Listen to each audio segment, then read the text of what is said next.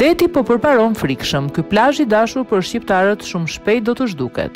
Për shkak të erozionit dhe përparimit të detit, një nga plazhet e Durrësit rrezikon të zhduket. Zona turistike e Porto Romanos po shkon drejt degradimit pasi brenda pak viteve deti ka hyrë rreth pesëmbëdhjetë metra në brendësi të tokës.